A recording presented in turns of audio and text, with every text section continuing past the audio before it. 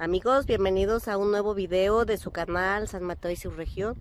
Nos encontramos aquí a orillas de la comunidad de San Mateo Valparaíso, Zacatecas. Hoy venimos para que conozcan aquí un negocio que vende dulces que se llama Flor de Cactus. Pues bueno, los invito para que nos acompañen a ver este pequeñito video. Acompáñenos.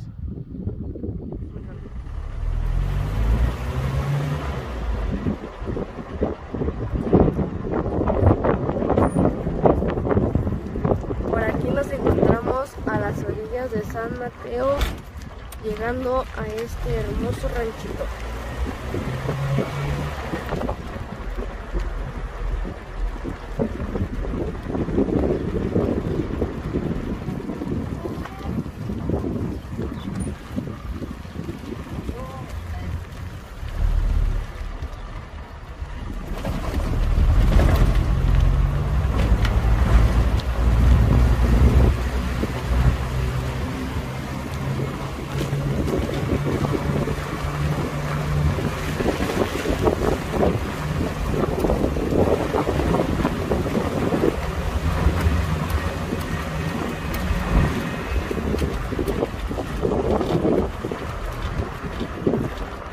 Por aquí vamos llegando al jardín de San Mateo.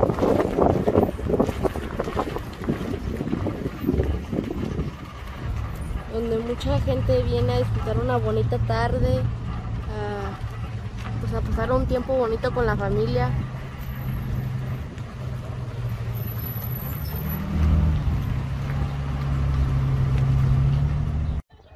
Miren, pues aquí estamos, aquí en el centro, aquí de San Mateo, aquí ya cayendo la tardecita. Miren aquí, pues ahorita aquí ya se reconstruyó aquí la iglesia, la fachada aquí de afuera y ya casi también terminan lo de la casa grande. Aquí es un pueblito de mucha cultura, de mucha tradición. Pues miren, aquí estamos gozando de esta bonita tardeada. Aquí en el jardín, aquí de la comunidad.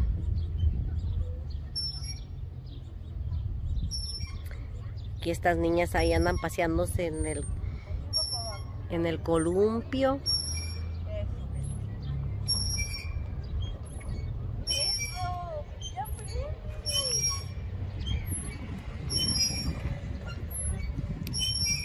Y pues por aquí vamos a visitar aquí el negocio aquí de Flor de Cactus, atendido por el señor José Luis Bautista.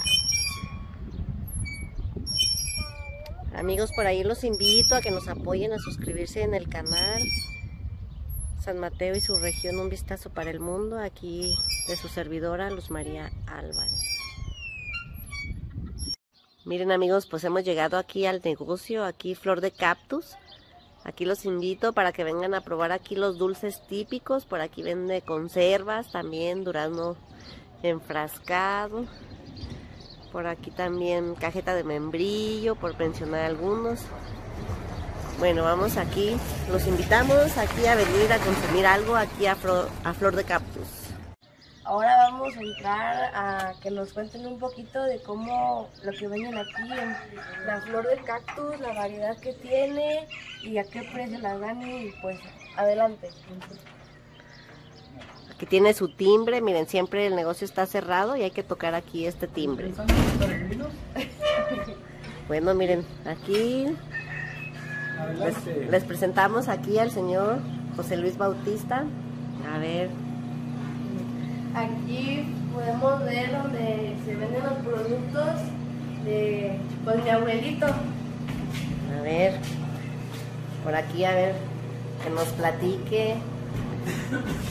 A ver qué, qué les ofrece aquí en San Mateo los dulces típicos, famosísimos por cierto. Ay, bueno, para empezar, pues son alrededor de 18 o 20 diferentes dulces, en los cuales predomina el coco y la guayaba.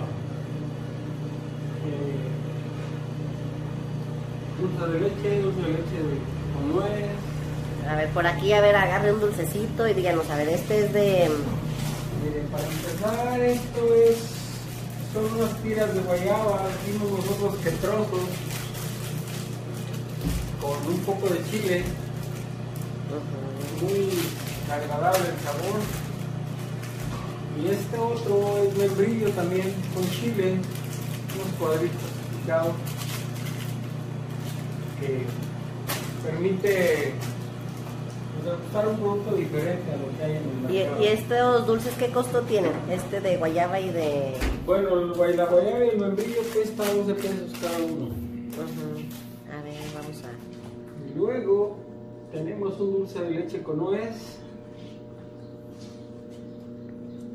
que también cuesta 12 pesos. Están los rollos de guayaba rellenos de leche y coco. Todo su producto cuenta con su etiqueta, ¿verdad? También, mire, estamos Sí, mirando. sí, todo su cada dulce tiene su emblema. Y ya más adelante, bueno, pues están, son siete diferentes sabores de coco. Donde predomina, bueno, es chocolate, piña colada, guayaba, rompope, lechera y la greñuda normal, sabor lechera y guayaba. Y luego, pues bueno, están los, digo que los últimos dulces, los grampiñados, pero no están tan dulces. Están muy buenos los. Sí, pues de hecho su dulce no está muy alto en azúcar, ¿verdad?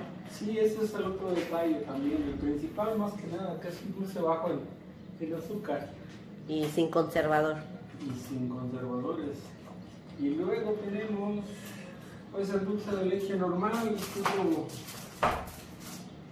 un cuadrito que este también es, es muy agradable. Y luego siguen los tres dulces de galleta que son sabor vainilla, rompope y guayaba. Eh, y ya por último está la palanqueta de chocolate con amaranto. Esto es una, una especie de galleta, también de sabor pues, agradable, muy bueno, quita el apetito si es que trae hambre. Sí, no, pues ya aquí los dulces de San Mateo ya muy reconocidos aquí en Estados Unidos y la República Mexicana, aquí muy famosos porque nos deleita con su rico sabor. Pues bueno, ¿y ya cuánto tiempo tiene trabajando aquí? No, pues son muchos años, to- toda una vida. Hablar de 22 años. Pues ya son... um, de la- bueno, sí, del, del 98 a la fecha que empezamos con todo esto. Entonces, ah, y pues al final de cuentas logramos sostenernos porque el trabajo de un negocio no es empezar y al rato que no funcione, que para acá y que para allá y cerrarlo, ¿no? Afortunadamente nosotros logramos sostenernos con todas las peripecias a base de mucho trabajo, pero logramos hacerlo. Y hoy día pues ya tenemos cierta presencia en el mercado y la gente nos busca, en fin, por ese lado, pues decimos que somos afortunados. Sí, porque de hecho la gente viene hasta aquí, ¿verdad? San Mateo. Sí, México. nosotros no andamos tocando puertas a ver quién quiere vender nuestros productos, la gente viene por ellos aquí afortunadamente. De hecho, está en una fiesta en Roma. Sí. También, No, no, en, en, en Portugal. ah, en Portugal. Sí, para una boda tuvimos la oportunidad de enviar 350 dulces. Sí. Entonces, y así por el estilo. No menos al propio, ahorita la semana pasada acabamos de, de procesar un encargo de 40 kilos de cajeta de guayaba, cosa que no hacemos tan seguido, o sea. Pero vino al propio gente de Colorado para que le hiciéramos esa, esa cajeta. Y ya, ya está en Colorado. No, pues bueno, aquí lo felicitamos. Gracias. Este, y pues aquí los esperamos a todos para que vengan a probar aquí los ricos dulces aquí de mi suegro, José Luis Bautista. Pues bueno amigos, espero y les haya gustado este bonito video y pues aquí cuando vengan a visitar a San Mateo no dejen de venir aquí a echarnos una visita, ¿ok? Más adelante les mostraremos algún proceso de cómo se elabora. Ah, pues bueno, muchas gracias. manera, Algunos de los productos que elaboramos.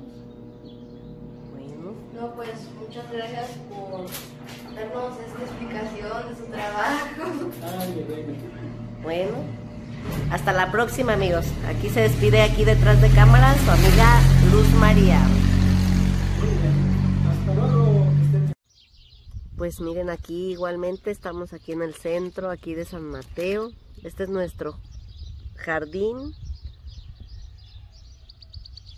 nuestro kiosco. Y pues aquí anda nuestro amigo Polina, Apolinar Escobedo, que es el que nos cuida aquí en su labor de trabajo, el jardín. Y gracias a él está como está ahorita ya, en muy buenas condiciones. Miren acá, este es por la parte aquí de abajo, aquí la casa grande y nuestra iglesia. Miren qué hermoso ya ahorita está